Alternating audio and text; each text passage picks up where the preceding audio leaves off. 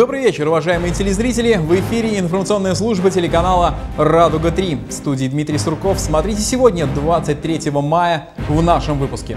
Хоть и предварительное, но не менее значимое, в Сергиевском районе, как и по всей стране, прошел праймерис – предварительное голосование в Государственную и Губернскую Думы. Развитие духовно-нравственной личности взрослого и ребенка – такова цель областного фестиваля, проходившего в Сергиевском районе. Единство народов и традиций, конкурс национальных семей встречал на прошлой неделе Суходольский дом культуры.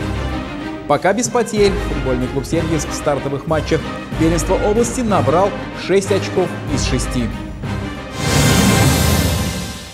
Итак, вчера по всей стране прошла процедура предварительного голосования в Государственную, а также Губернскую Думы. По данным, в ней приняло участие около 9 миллионов человек. Состоялся праймерис и на территории Сергиевского района. Все подробности в нашем первом материале. 22 мая с 8.00 до 20.00 часов проходил единый день голосования по отбору кандидатов от партии «Единой России» на выборы депутатов Государственной и Губернской думы. Голосовать в этот день могли все желающие. Отдать свой голос можно было за одного или нескольких кандидатов как в Государственную, так и в Губернскую думу. Из 20 тысяч избирательных участков, открывшихся 22 мая по всей стране, 9 находились в Сергиевском районе. Наша съемочная группа побывала в полдень на одном из самых крупных участков в поселке Суходол. Судя по явке на наш э, участок, э, интерес вызван огромный населения, потому что явка на 10 часов утра э, составила порядка 130 человек уже посетили наш участок, а на половину первого где-то около 600 человек явка. Поэтому я считаю, что интерес у населения района, в частности поселка Суходол, эта процедура предварительного голосования вызвала. Между выбранными кандидатами затем в сентябре этого года пройдет обычное голосование на всероссийских выборах. Основной целью предварительного голосования является предоставление гражданам возможности участвовать в политической жизни страны и исключить составление договорных списков. Еще такое предварительное голосование по списку партии необходимо для того, чтобы как можно точнее определить политиков, имеющих наибольшую поддержку среди российских граждан. Из тех кандидатов, которые есть, их вон как много. Значит, в голосовании, в конечном голосовании будут принимать участие не все, а те, кого мы сейчас выберем. Происходит предварительный отбор. И надо принять участие в этом, э, и, так сказать, чтобы отсеялись э, которые, люди, которых, допустим, я не знаю. То есть э, людей, которые более-менее что-то от них, какая-то какая польза будет. Но все-таки я думаю, что это хорошо, что эти предварительные выборы есть какой-то шаг вперед. Не меньший ажиотаж наблюдался и на других избирательных участках в Сергиевском районе. Они в нашем муниципалитете закрыли свои двери ровно в 20.00. Нарушений на них отмечено не было.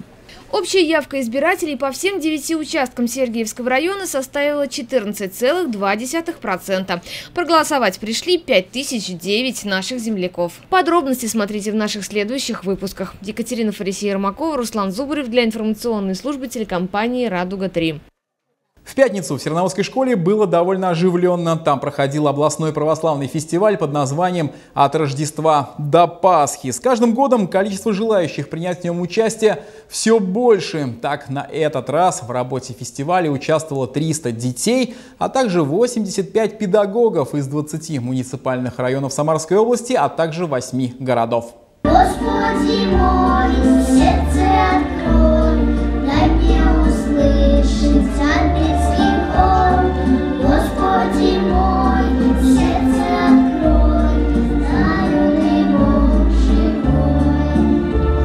По сценарию 15 минут торжественного открытия, затем все расходятся по аудиториям. Они готовятся защищать свои работы, темы которых раскрывает духовно-нравственное воспитание. На территории Северного образовательного округа вот уже в пятый раз проводится областной православный фестиваль от Рождества до Пасхи. Впервые э, фестиваль задумывался Северным управлением как окружной и проводился с участием детей трех районов – Сергиевского, Челнышинского и Шанталинского. И два года назад было принято решение а, сделать его областным. Вот второй год он проводится уже в статусе областного фестиваля. И мы, честно говоря, очень удивлены в этом году, потому что а, если в прошлом году порядка 150 детей приняло участие в Самарской губернии, то в этом году а, заявилось более 500, нам пришлось проводить отбор, и сегодня порядка 300 детей, и педагоги в общей сложности около 400 человек, участников, принимают участие в этом мероприятии. Фестиваль имеет широкую географию участников. На этот раз в его работе принимают участие более 300 детей и 85 педагогов из 20 муниципальных районов и 8 городов Самарской губернии. Он нацелен на развитие духовно-нравственной личности взрослого и ребенка на основе исторической преемственности через возрождение православной культуры, духовных традиций для укрепления государственных основ Российской Федерации. Православная культура – это э, стержень российской культуры, э, стержень российской литературы литературы, русской литературы, русской истории. Нельзя об этих вещах говорить в отрыве друг от друга. Фестиваль от Рождества до Пасхи – это уникальное явление для Самарской области. Но если говорить о его охвате, то согласитесь, более 400 работ – это очень достойный результат. Лучшие специалисты институтов повышения квалификации, которые наравне с сельскими учителями обсуждают новые методические какие-то идеи, разработки. Это тоже для них очень и очень важно. Ни один систематический курс повышения квалификации не заменит таких живых, очень радушных, эмоциональных человеческих встреч. Фестиваль проходил на нескольких площадках, где и учителя обменивались своим опытом в преподавании основ православной культуры, в развитии духовно-нравственного воспитания в виде малых пленумов, и ребята представляли свои авторские работы, в которых входят и стихи, и произведения в прозе, это и научные исследования. Полина – ученица Чурновской школы. Она одна из первых выступила перед собравшимися. Тема ее работы – родники к святому источнику за чистотой и верой. Родники – это источники, которые самостоятельно изливаются на поверхность. Так скажут гидрологи. А родник подаль – это ключ, бьющий из земли водяная жила, крыница, водничек – Место рождения ключа. Ключ же – это источник, отпирающий недра земли. Педагог Полины Наталья Викторовна Тарасова. Они вместе проводили исследовательские работы. Среди молодежи провели анкетирование, встречи. Считают эту тему актуальной, так как родники забрасывают, стирают их значение и из памяти. Но когда они стали поднимать эту тему, заинтересовались все вокруг. И в ближайшем будущем молодое поколение села Черновка собираются обойти имеющиеся на их территории ключи. Это наша задача. Это наша задача пробудить в детях детях сознание того, что они будущее России. И не нужно забывать об этом. Не нужно забывать родники, не нужно забывать наши храмы, наши святые места, не нужно забывать людей, которые дали так много для, для нашей России, для восстановления. И если мы это возродим, возродится и Россия.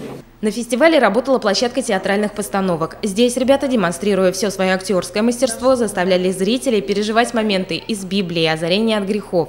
Ребята с Суходольской первой школы показали сцену распятия Христа очень эмоционально, по-современному доступно. В данном случае мы вот всемиром играем семь самых таких детских грехов. Какая мораль? Какая мораль вообще в этом всем? Ну, там, во всей той истории, которую вы сейчас будете Ну, показать, что не надо быть такими, как у нас будет играть девочка. Ну, она, как она. Ну, пока, показать, какой, чтобы не быть такими же. Стала девочка из сердца.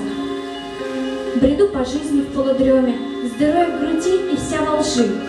Встречались люди на дороге, и каждый с дыркой на груди. О, катастрофа, что за день? И что улыбки вы одели? Кричите, что Христос воскрес, но вдумайтесь слова простые. Как человек ожить из мертвых ног? Глупцы, вам только повод нужен на вечный праздник и веселье. А я не верю в эту ложь. Не верю, слышите? Не верю. Работали на фестивале еще несколько площадок по вокалу, хореографии, проводили мастер-классы. В фойе Серноводского дома культуры организовали выставку. Она содержала детские работы декоративно-прикладного творчества. Ее название – «История и традиции православия». Каждый из ее экспонатов отличался высоким уровнем мастерства. Завершили областной православный фестиваль от Рождества до Пасхи на сцене Дома культуры торжественной церемонии награждения. Как принято с Божьей помощью пять лет назад был дан старт этому замечательному фестивалю. который в очередной раз объединил взрослых, детей, объединил вокруг исконных традиций, православных традиций, добра, веры, терпения, терпимости. И э, разрешите поблагодарить от лица главы муниципального района Сергиевский Веселого Алексея Александровича всех добра, мира, благополучия, творческих и духовных возрастаний. Мы делаем с вами одно большое, доброе, кругоугодное дело. Награждены были по итогам фестиваля за первое и второе место в различных секциях, соответственно, педагоги Суходольской первой школы Быковская Валентина Евгеньевна и Девяткина Ирина Александровна. В секции «Художественное творчество» в номинации «Театральная постановка» лучшими стали девятые классы Суходольской первой школы и творческое объединение «Дети» Красносельской школы заняли второе место.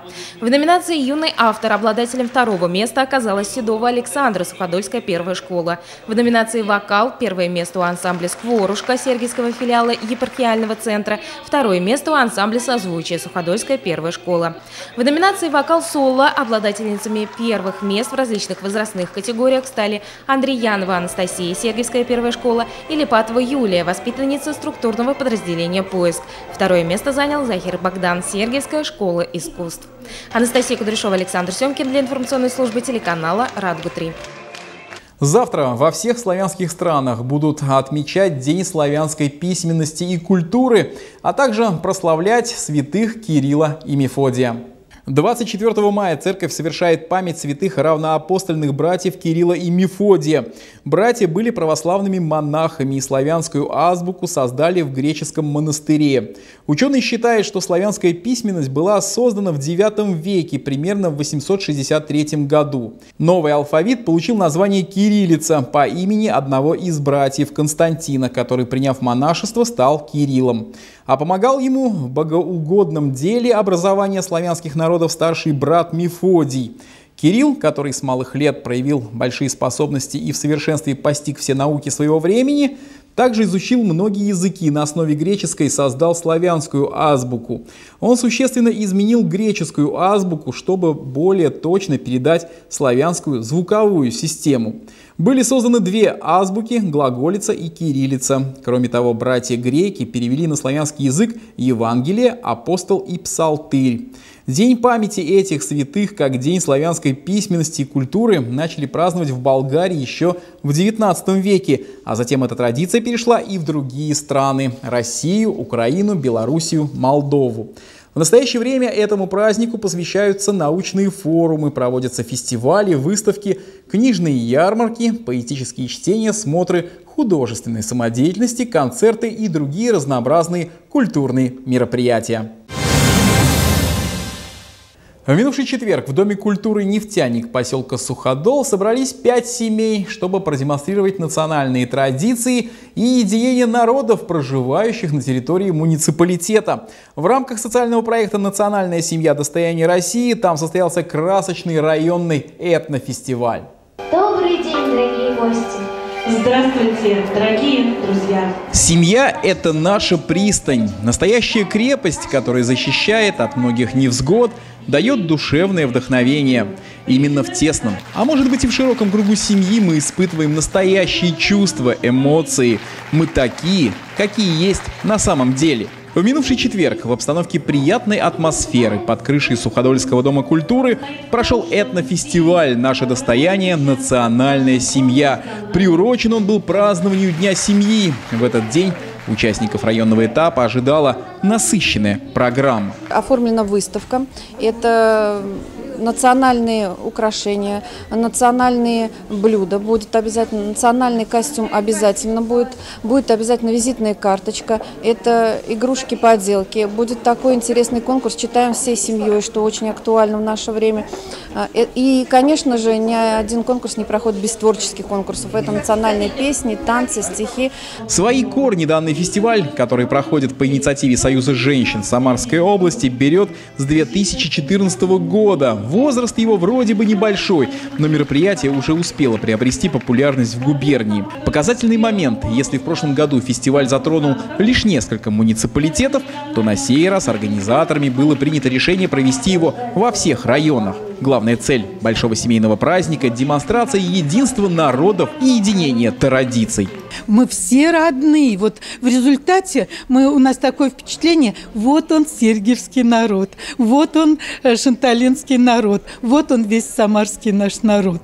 Понимаете? И какая-то вот эта родственная э, нота, она сближает людей. Она как-то, наверное, очередной раз заставляет нас задуматься о том, как это надо все беречь. Потому что вот в нашей организации есть э, такой девиз «Наше богатство в многообразии, а наша сила в единстве». Борьбу за победу вели пять семей, представляющие четыре поселения района. Это поселок Кутузовский, а также Суходол, Сергиевск и Кармала Делякова. В своей программе, которая включала в себя семь конкурсов, они представляли культуру, обычаи и традиции трех национальностей – русской, чувашской и мордовской. Со слов участников нетрудно было догадаться, подготовка шла тщательно. Каждой семье хотелось произвести на членов жюри неизгладимое впечатление. Очень старались, потому что у нас в этом году 40-летие совместной жизни, и мы хотим немножко предоставить небольшой такой отрывочек, как у нас это все происходило. Все у нас обычаи и традиции в нашей семье выполняются, все мы соблюдаем с интересом. Дети мои знают все праздники, всю историю нашей семьи. Наша семья представляет мордовскую национальность, наши корни мордовской национальности. И мы сюда приехали с большим удовольствием показать наши реликвии, наши обычаи, наши песни, наши костюмы. В течение двух часов на сцене кипела настоящая жизнь пяти семей. Визитная карточка, песенный конкурс, творческая лаборатория зажигательная музыка и аплодисменты в зале. Детям много может дать.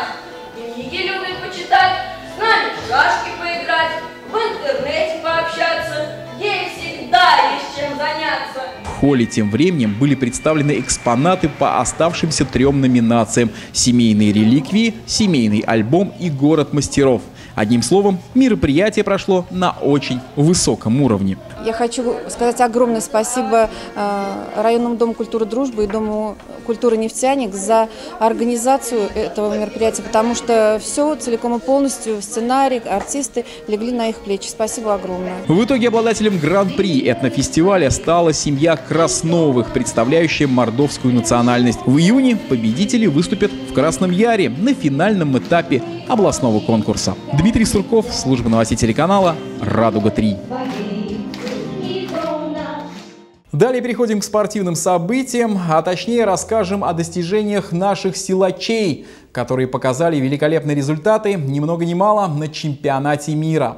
В середине мая в городе Санкт-Петербург впервые прошел чемпионат мира по армлифтингу. На чемпионате мира было зафиксировано несколько мировых рекордов, напряженные баталии между участниками, яркие пром-мероприятия в перерывах, дегустации спортивного питания, показательные мастер-классы по армлифтингу по всем снарядам. Всего же в турнире принимало участие более 150 спортсменов из Украины, Финляндии, Канады и России. Отрадно, что на таком крупном соревновании выступали и наши силачи. Да не просто выступали, а завоевали медали. Так, в номинации Rolling Thunder в весовой категории до 80 килограммов отменный результат показал наш земляк Денис Морозов. Сергиевский силач завоевал серебряную медаль, продемонстрировав одинаковый результат с победителем, уступив ему лишь по дополнительным показателям. Таким образом, Денис Морозов поднялся на вторую ступеньку пьедестала почета на чемпионате мира. Матчи второго тура областного первенства по футболу состоялись в минувшую субботу. Футбольный клуб «Сергиевск» в родных стенах принимал очередного своего соперника, звезду из Хворостянки. Подопечные Джамиля Миначева подошли к игре в отличном настроении. Футбольный клуб «Сергиевск» в первом туре победил. А вот гости приехали к нам как раз после разгрома, поэтому выиграть очень хотели. Футболисты «Звезды», они вышли на матч в форме белого цвета, с первых минут постарались играть на встречных курсах.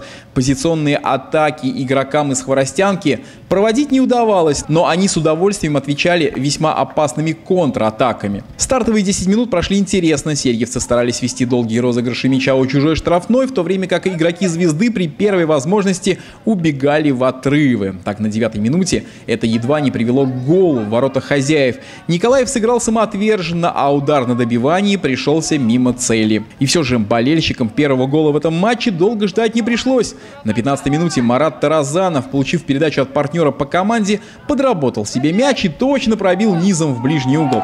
Голкипер «Звезды» оказался в данном эпизоде бессилен. 1-0. До перерыва игроки в синих футболках могли еще не раз увеличить преимущество в счете, но мяч упорно не шел в ворота. Марат Таразанов снова выскочил на рандеву с голкипером и даже перебросил через него мяч, но снаряд пролетел рядом со штангой. 1-0 результат чрезвычайно скользкий. Любой отскок, любой корявый удар по нашим воротам мог привести к равенству, поэтому забивать второй гол было необходимо. Сразу после отдыха сергиевцы добавили в активности, атаки пошли как с левого фланга, так и с правого. На 56-й минуте Сергей Махов сделал прострельную передачу в штрафную. Страж ворот звезды сыграл не лучшим образом, выронив мяч из рук, и Игорь Камайкин поразил пустые ворота. Гости ринулись большими силами вперед, и уже сергиевцы имели возможность играть на контратаках. Так, спустя 10 минут они провели разящий контрвыпад. Таразанов делал передачу на правый фланг, но мяч, стрикошетив от двух защитников хворостянской команды, оказался в сетке. Именно этот гол окончательно успокоил игру. Да, конечно, звезда имела до финального свистка несколько возможностей для того, чтобы размочить неприятный для себя результат, но Николаев с защитниками сделать этого не позволили. В итоге 3-0 крупный успех Сергиевска, который стал вторым в нынешнем сезоне. Подопечные Джамиля Миначева имеют теперь в активе 6 набранных очков из 6 возможных и делят первое и второе место с лучом из Красного Яра. Следующие матчи первенства состоятся 28 мая. Наш коллектив на выезде сыграет с Никой из Большой Глушицы. Дмитрий Сурков, служба новостей телеканала «Радуга-3». Время дождей, по-видимому, позади. Впереди нас ждет переменная облачность и тепло. Областные синоптики прогнозируют временную передышку от дождей. Согласно предварительным прогнозам, в ближайшие дни нас ожидает сухая погода без осадков. И хотя в основном будет преобладать переменная облачность, температура воздуха будет все время повышаться. Так уже во вторник ожидается днем до плюс 23 градусов, а в четверг-пятницу столбик термометра поднимется до плюс 28-29. Осадки, если и возможны, то только в субботу. Однако напоминаем, это предварительный прогноз погоды на неделю. Естественно, он может поменяться. В завершении выпуска переходим к материалам наших губернских коллег. Передаем им слова. Проспект 50-летия октября. Глава региона осматривает, как идет ремонт дороги. Подрядчик обязан провести в порядок 3,4 километра. На уже сделанном отрезке Николай Иванович Меркушкин обращает внимание на недостатки. Колодцы не вровень проезжей части. Спрашивает, какие технологии применяет при укладке, современный ли материал. Во время осмотра к губернатору подходят жители близлежащих домов, обращаются с вопросами. Это и благоустройство, завышенные тарифы в ЖКХ, говорят о, возможно, незаконных захоронениях на кладбище, естественно, на коммерческой основе, о сокращениях на предприятиях, недостроенном здании детской поликлиники. Некоторые вещи проверим, что вы сказали. Вот. Если подтвердятся те вещи, которые мы знаем, по Самаре что делают, по кладбищам тем же, по тарифам и ряд других вещей, значит, мы посмотрим. Но я как минимум месяц раз буду приезжать, если не чаще. Значит, мы посмотрим, будет через месяц что. Далее улица Володарского в доме номер 8А по региональной программе капитального ремонта была приведена в порядок крыша. Местные жители благодарят главу региона и рассказывают, до этого лежал шифер, крыша постоянно протекала. Сейчас, а после завершения работ прошел уже год, все в порядке. А дальше что будет? Какой ремонт? А Дальше вот разговаривали с управляющей компанией, то есть будет э, текущий ремонт подъезда. Будут Подъезда. ремонтировать, да, потому что тоже протечка вот в подъезде идет. Ну, я думаю, если мы так будем постоянно платить, накопим, и дальше нам нужно поменять, конечно, инженерные сети. Да, Потому что столько лет Потому что не менялись. лет. Нет, да, не менялись. Не менялись. А это, можно сказать, местная гордость, приведенный в порядок драматический театр. Губернатор рассказывает, когда несколько лет назад оказался здесь впервые, был в шоке от состояния здания. Даже лестница на сцену была практически разрушенной. По поручению главы региона в ноябре 2014 начали реконструкцию. Один из старейших театров региона вновь открыл свои двери для зрителей несколько месяцев назад. Артист отмечает, посещаемость спектаклей выросла практически в два раза. Но особенно, конечно, рад коллектив. Говорят о маленькой детали. Все это время до ремонта не было горячей воды. Даже грим смыть было сложно. Сейчас проблемы в прошлом, хотя о помощи артиста все равно просят Николая Ивановича Меркушкина. У труппы нет автобуса, а гастроли не редкость. Губернатор обещает рассмотреть вопрос. Разговор заходит и о выборах. Артисты говорят о необходимости участия в избирательной кампании. Он выдвинут партией «Единая Россия» депутатом в Государственную Думу от Сызранского избирательного округа. От Сызранского? Вот за кого, значит, голосовать будем, да? Да, вот за него. Серпер? А, Серпер мы знаем. Династию знаете? Династию знаете? Хорошая Да, династию знаем. Дед был очень, авторитетный. очень авторитетный, уважаемый деловой человек. Да. Да, знаете, да, именно деда. Да. Вот мы надеемся, что он в деда. Да, будем, да. Деда. Надеяться будем, будем надеяться. Юбилей там проводили как Ремонти- Да, у Ре- деда юбилей проводили. театр он. Все, теперь Он знаем, ремонтировал. куда бечь. Не за большие деньги, а относительно. Спасибо. За эти деньги, ну так э, существенно мы изменили театр. Существенно. Конечно, видно очень. Все полностью. Кардинально. Да, кардинально. Отмечу, что выборы в Государственную и губернскую думы состоятся 18 сентября. Ольга Павловская, Алексей Вельмиский. Новости губернии. Сызрань.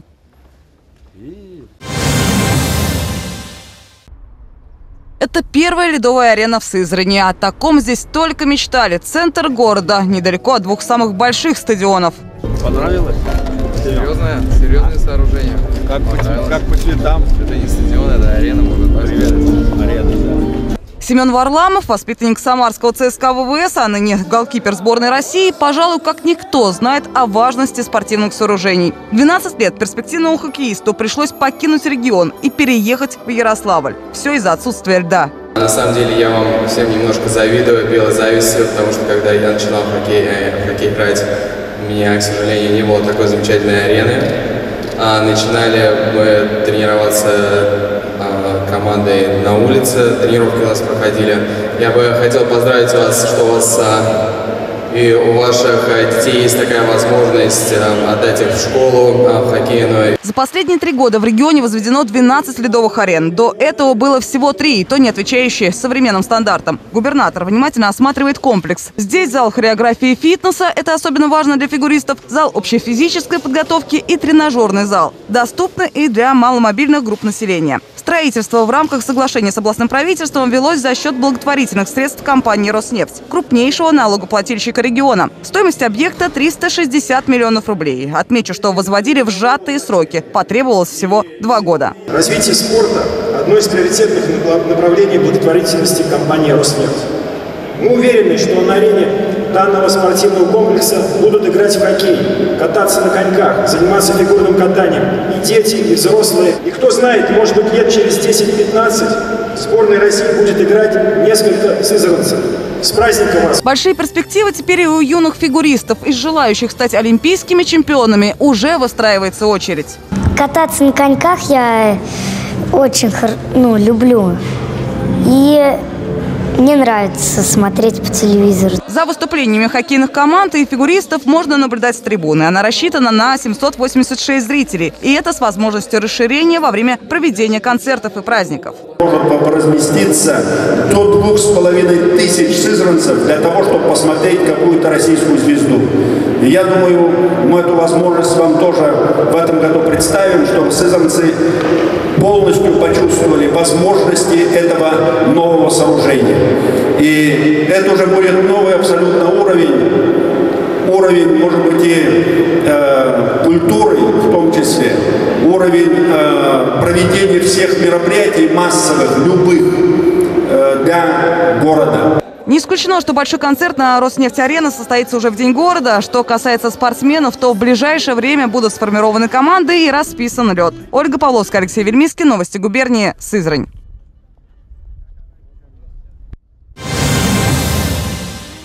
На сегодня все. Далее прогноз погоды на завтра. Информационная служба продолжает следить за развитием событий. В студии был Дмитрий Сурков. До свидания.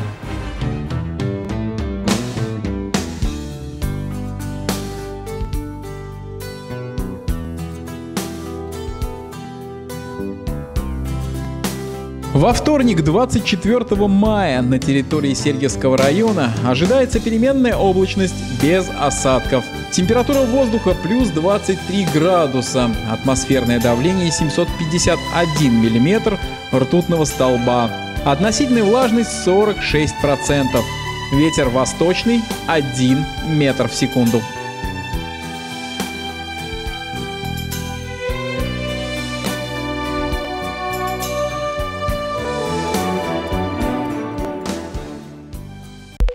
Варикоз называют одной из эпидемий 21 века. Множество предлагаемых методов лечения этого заболевания, как правило, не дают стопроцентной гарантии. Но благодаря самым современным технологиям, предлагаемым Самарским центром флебологии, теперь можно попрощаться с этим недугом навсегда. Новейшие методы лечения варикоза лазером и радиочастотной облитерацией позволяют добиться результата амбулаторно, без разреза и наркоза. Распрощайтесь с варикозом навсегда всегда. Самарский центр флебологии. Город Самара, улица Мяги, 7, дробь А. Телефоны 8 846 990 89 58 и 8 917 113 87 88.